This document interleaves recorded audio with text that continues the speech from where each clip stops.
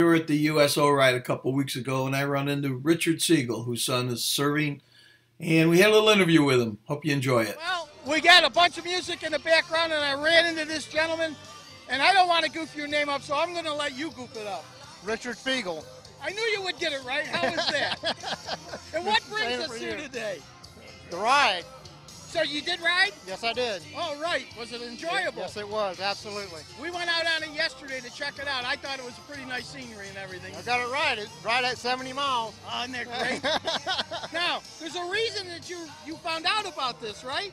Kind of Yes. tell me the story. well, the, well, the reason is actually um, somebody at work told me about it, and, Yeah. it, and it just so happened that, of course, after the ride, I walked by this photograph right here, and I see that my son's in that photograph, okay. and that and it, it just sent chills down my back whenever I saw that.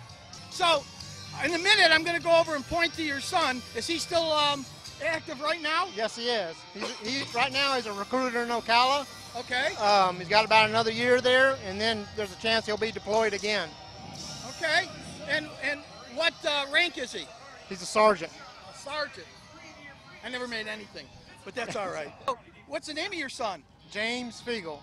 All right, we're going to point him out here in a minute. If the camera wants to follow me, I know it's going to be tough. Come out with me. You get on that side, but I'm going to point your son out to you. Okay. Okay, because I know where he is. You ready? Right there. That's him. Yes, sir. Isn't yes, that amazing how him. well I can do? That's him. All right, right here is his son.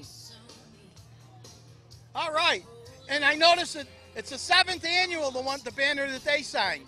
Right. See, I remember him telling me about this picture that they took while he was in Afghanistan, and and whenever I walked by it, I, I took a second glance, and I thought, well, that's my son right there. I couldn't believe it. That's outstanding. It's an awesome thing. Outstanding. All right, well, I want to thank you so much. Tell your son thank you so much for uh, being in service and protecting us. Thank you. All right. Everybody here at Cycle Fever TV wants to thank all the vets for what they have done for our country. Again, thank you so much for serving.